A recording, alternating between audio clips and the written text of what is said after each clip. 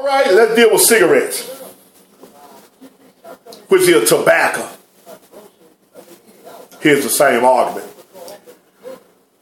People say, well, we smoke herbs and this and this, and, and some, some told me, Bob, you know, my kid folk call me Bob. Bob, herbs in the Bible. Herbs in the Bible. God made herbs in the Bible. Of course he did. But my God, I want you to go and read about the uses for the herbs. Herbs, bitter herbs. They're used for food. It's in your Bible. They are used for food. Herb, you say herb in the Bible? Go in your Bible, pull up the herb scripture, and see that it was used for food. Food. Is the Bible right? Wasn't used for no smoking. All right. Same thing with cigarettes. Well, God made tobacco. Yes, he made tobacco. What were the original uses for it? Now, men and women of God, you get teach God's word, preachers, missionary, whoever. Something you need to have a little knowledge of. Something you need to know the history of. When Paul went to went to Athens, and Paul dealt with the people who had uh, images and uh, uh, idols and all different kind of gods. Paul dealt with them, and Paul spoke about what their poets had said. Say, your poet said this. So you have knowledge of things, not just the Bible. All right. Well, did I come back? Yeah, okay. All right. You need to have knowledge. You need to do some history. Don't just take down because the world tell you something you take down without checking it out. You say, well, you world, you right. Devil, you right. The devil know the truth. You supposed to know it. You supposed to know the truth about cigarettes. You supposed to know the truth.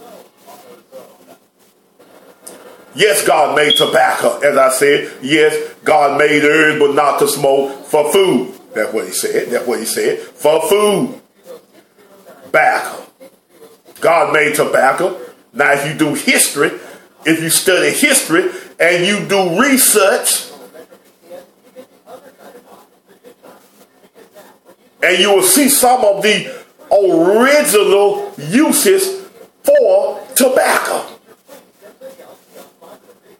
And one of the main uses was it was a pesticide to keep the insects from eating up the crops.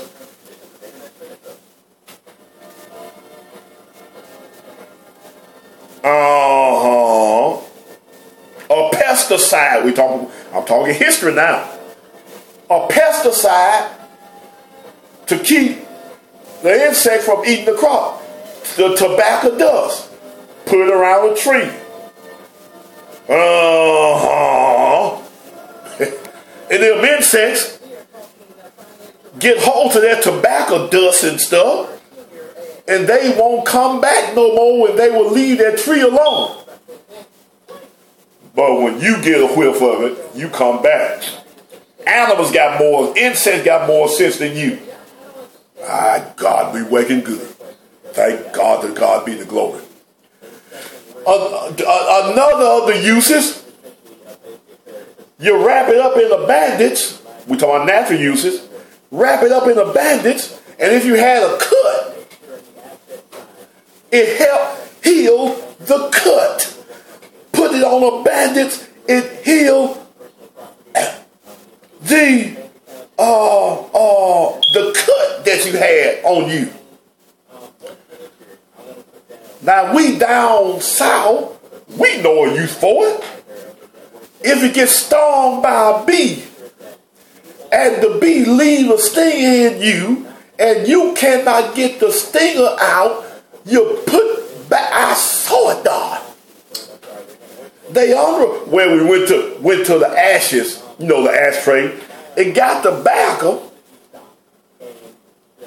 and put it on the bee sting, and that tobacco draw that stinger out. Oh yeah, it's using for tobacco.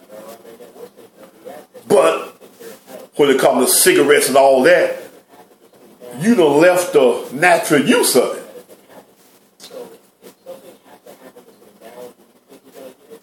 You got they the man man done done some put chemicals and stuff in it. That note, let's go to the word of God. I want to show you some. Man make some, give you counsel, tell, sell it, tell you to smoke it. Is that evil? Get you hooked. Is that evil? And nicotine uh, uh, was was is a man invention. The rock took from tobacco by Jean or Warren Nicot, N-I-C-O-T. Read a book. huh? And all the chemicals that's in the cigarettes and all that to get you hooked to kill you. Actually, actually, it's a it's not necessarily to, the tobacco that kill you. It's all the stuff and chemicals that's in it that kill you. Uh, who who makes those chemicals? Is that evil? Something to kill you? Is that evil? Well, you had cupbearers in the Old Testament. The kings had cupbearers to take the wine to see was it poison. Is there is those cigarettes and cigars and snuff and back? Is it poison? You bet not tell a lie. I say, is it poison? Yes, it is. Who invented that? The devil. To get you hooked, to get you on cancer, have you cancer and eating up your lungs and body. The devil. My God, let go away. Let go away and prove that. Is that evil? See, the man of God need to be thoroughly furnished to deal with everything. If any lack wisdom, let the master God and God to give it. This is my calling. God called me. God made me. All right. Is I, I ask you, was that evil? You can't say that it's not. Now some say, I one I know say, well, I don't tell folks smoking or see you to hell. I tell them it may send you to heaven quicker. I wouldn't let nothing like that come out of my mouth. Don't you blaspheme. I wouldn't let nothing like that come out of my mouth.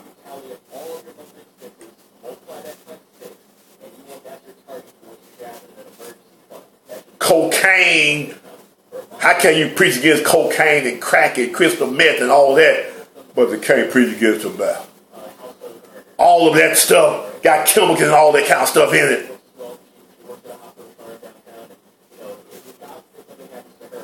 Whew. Let's stop here. Well, let me let me leave this with you. I ask you, was it evil? That stuff to make that kill you? That's what I ask you. The, the answer is yes. Let's read the book, the Bible, that's going to show you that it's evil. Go to Romans, the first chapter. Uh-huh. Uh, God, the word of God is coming to you so you can preach right. All right. Call your bishop and tell him he don't know. Call your apostle. He's supposed to know. Call a prophet that see things. See if he can see this. Call your DD your professor. Call everybody. Tell them to draw nigh to the truth. All right, Romans 1. I asked you, was it evil? The answer is yes. Romans 1 30. Well, at 28. Yes, it deals with homosexual, but there's some more things in it. And even 128, Romans 128.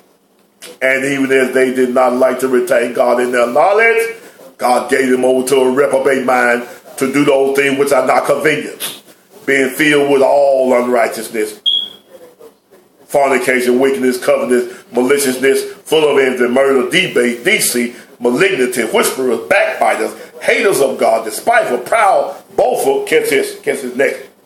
Excuse me.